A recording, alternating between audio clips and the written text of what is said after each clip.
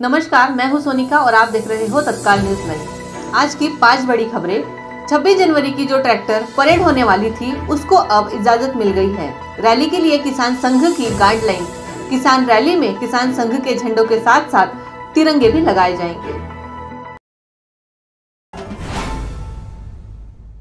मुंबई के आज़ाद मैदान में पहुँचे हज़ारों किसान। आइए देखते हैं नज़ारा।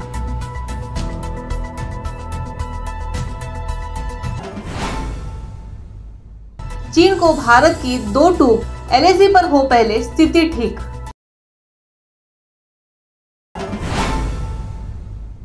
आज राष्ट्रीय मतदाता दिवस पर, यानी कि 25 जनवरी को, भारत निर्वाचन आयोग पूरे देश में 11वां राष्ट्रीय मतदाता दिवस मना रहा है।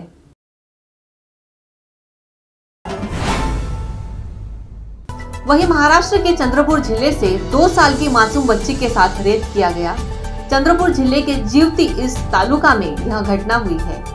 खेती का काम करने वाला मजदूर अपने ही घर मालक की लड़की के साथ में यह दुष्कर्म किया गया, पकड़ा गया।